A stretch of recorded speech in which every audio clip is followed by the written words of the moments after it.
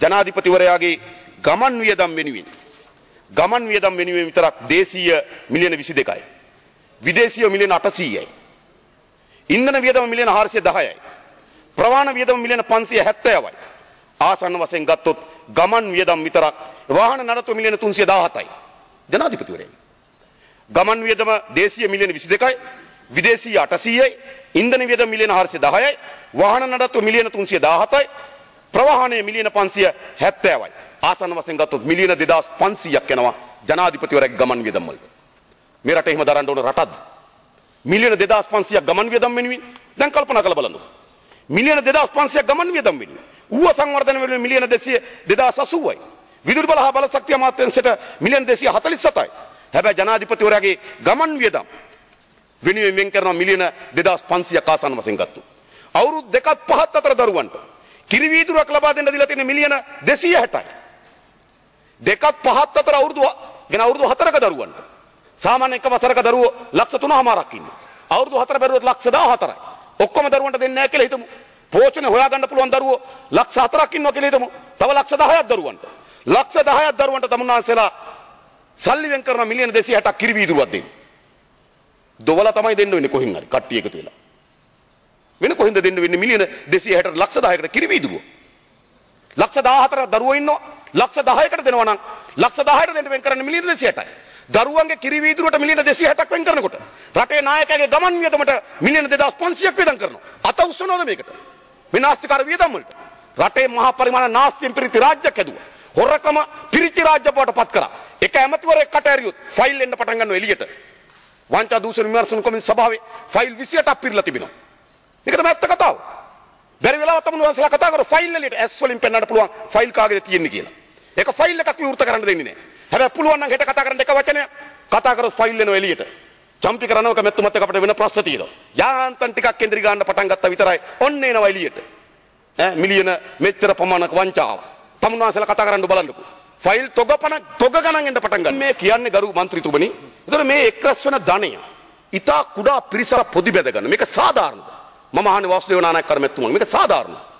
ඉහළ 120 ජාතික ධනයෙන් 55.1ක් මුක්ති විඳිනකොට පාල 120ට හම්බ වෙන්නේ. රටේ ජාතික ධනයෙන් 3.6යි නම් ඉහළ 120 රට ඉහළ 10 රටේ ජාතික ධනයෙන් 36ක් මුක්ති විඳිනකොට පාල 10ට හම්බ වෙන්නේ. රටේ ජාතික ධනයෙන් 1.1යි නම් මේක සාධාරණද? අතිශය ආදායම් බෙදී යාමේ විශ්වවිද්‍යාලයක් ගොඩනගපු රාජ්‍යයක් ගොඩනගලා තිබෙනවා. ඈත ගම් වලට ගිහිල්ලා බලන්න. බිත්ති උස්සලා තියෙනවා කපරාදු කරලා නැහැ. පොළව දාලා තියෙනවා සිමෙන්ති දාලා නැහැ. වහලේ ගහලා තියෙනවා සිවිලක් ගහලා නැහැ. උළුව දොර උළුව තියලා තියෙනවා දොර පියන දාලා නැහැ. ගෙයක් හදාගන්න අවුරුදු 7-8ක් වලි කරනවා. රාජ්‍ය සේවකෙක් ගෙයක් දොරක් හදාගන්න අවුරුදු 7-8ක් වලි කරනවා. හැබැයි රටේ මොකද වෙලා තිබෙන්නේ? අරලිය ගහ මන්දිරෙත් පාවිච්චි කරනවා. ජනාධිපති මන්දිරෙත් පාවිච්චි කරනවා. මයංගනේ මන්දිරයක් අලුත් වැඩිය කරලා හැදුවා. කතරගම මන්දිරයක් හදනවා. ඇඹිලිපිටිය මන්දිරයක් හදනවා. අනුරාධපුර මන්දිරය ලොකු කරලා හැදුවා. නුවරඑළිය මන්දිරයක් හදනවා. කංකසන්තුරේ මන්දිරයක් හදනවා. මොකද්ද මේ පිස්සුව? ජනතාවට හරියම ඉන්න කාමරයක් නැහැ. ගෙයක් දොරක් නැහැ. මේකනේ සිද්ධ වෙලා තියෙන ජනතාවට. ගෙයක් දොරක් හදාගෙන තමන්ගේ මුළු මුළු පඩියම බැංකුවට උකස් යන්න ඕන. පඩිපත එන්නේ සොත්තමල මේ ගොඩක් රාජ්‍ය සේවකයන්ගේ. බැංක් ගේ හදාගන්න ණය අරගෙන. නිසා ඕටී කරනවා. වෙන වෙන වැඩ කරන්න වෙලා තියෙන ගෙයක් දොරක් හදාගන්න රාජ්‍ය සේවකෙකුට. හැබැයි රටේ නායකයා රට පුරා මන්දිර හදනවා. මොකද මේ වෙලා තියෙන පිස්සුව?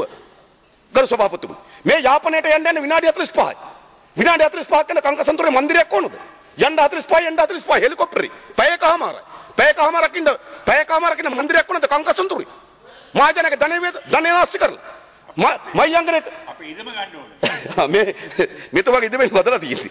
හරිද? මොකද මේ වෙලා තියෙන්නේ? ආ මයංගනේ මන්දිර ඕනද? ඇඹිලි පිටිය මන්දිර ඕනද?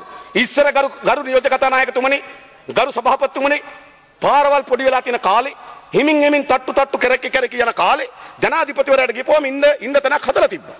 හැබැයි ඒතකොට ප්‍රවාහන පාසුකම් ආවමයි. ඉතාවේ කාලයක් යන යාපනයට යන දවස් දෙකක් වෙනවා. එතකොට එතන මන්දිරයක් හදාගත්තර කමක් නැහැ. දැන් හෙලිකොප්ටරේ යන්නේ. යනකොට තුනක් කරන් යන්නේ. මොකටද මේ තුනක් කරන් යන්නේ හෙලිකොප්ටරේ? මීට කලින් හැම නායකයම ගියේ හැම නායකයම මීට කලින් හෙලිකොප්ටරේ එක හෙලිකොප්ටරයක් කරා. අපි පිළිගන්නවා. පාරේ යනකොට කාර් දෙක තුනක් කරන් යනක පිළිගන්න පුළුවන් කර සභාපතිතුමනි. එක කාර් එක හුලං ගියොත් අනිත් කාර් එකට නගින්න පුළුවන්. උඩින් යනකොට හෙලිකොප්ටර තුනක් කරන් යන්නේ මොකටද? එකක ප්‍රශ්නයක් આવොත් අනිත් එකට පනින්නද? පනින්න වෙන්නේ බිමට මතක තබා ගන්න. මේ රටේ මහජනගේ ධනය කෝටි ප්‍රකෝටි ගණන් නාස්ති කරන පාලක කණ්ඩායම. මේ නව කල්ලිය මේ නව කල්ලිය සඳහා හදපු අයවැලේකන point about Honorable Aswell?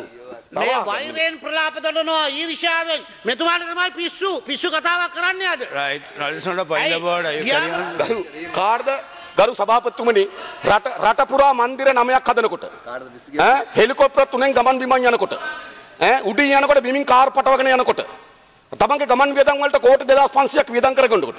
අර්ලේගා මන්දිරේ තාප්පේ ඈ, චූටි චූටි මල් මල්පල වලින් පුරවනකොට. ඒ තාප්පේ නඩත්තු කරන්න මාසෙකට ලක්ෂ 3කට වඩා අධික මුදලක් නඩත්තු කරනකොට කාර්ද පිස්සු කියලා තේරෙනවා. මතක තබා ගන්න. කාර්ද පිස්සු කියලා. මෙරට මොන පිස්සුවද මේ ඇවිල්ලා තිබෙන්නේ? සාමාන්‍ය ජනතාවට බෙහෙතක් ගන්න නැහැ ස්පිරිතාලෙට ගිහපුවම මුත්‍රා පරීක්ෂණ කරන්නේ නැහැ ලේ පරීක්ෂණ කරන්නේ නැහැ බෙහෙතක් නැහැ. අ- අහිංසක අම්මලා තාත්තලා. දොස්තර මහත්තයලා ඉන්නවා දින 10ට බෙහෙත් බෙහෙත් තුණ්ඩුව ෆාමසිය ගාවට වෙලා ඉන්නවා. ද- ෆාමසිය ගාවට වෙලා දන දවස් දෙකකට බෙහෙත් කියනවා ද- වකුගඩු වලින් අනුරාධපුරේ 585000 585000 ජනගහන ඉන්නවා මහින්දාප කුසකර්ම ඇමතුමා කිව්වා ලක් 115කට වකුගඩු රෝගය කියලා. ඒ කියන්නේ 90000කට වකුගඩු රෝගේ. පර්යේෂණයක් කරන්නේ නැහැ. ලේ ටික සුද්ධ කරගන්න විදිහක් නැහැ. අවුරුදු 49 එහා මිනිස්සු ලේ පරීක්ෂා කරන්නේ නැහැ. ඇයි ආණ්ඩුව ස්පිරිතාලේ. ඒගොල්ලන්ගේ මරණ වයස තීරණය කරලා තියෙන්නේ. අවුරුදු 49ට වඩා වැඩි නම් ලේ කාන්දු කිරීමේ ක්‍රියාවලිය ඒ රෝගීන් බාරගන්නේ නැහැ. ඇයි 49න් පස්සේ මැරෙන්න නියමිත කරපු ජනතාවක් ඉන්න අනුරාධපුරේ. රජ රට.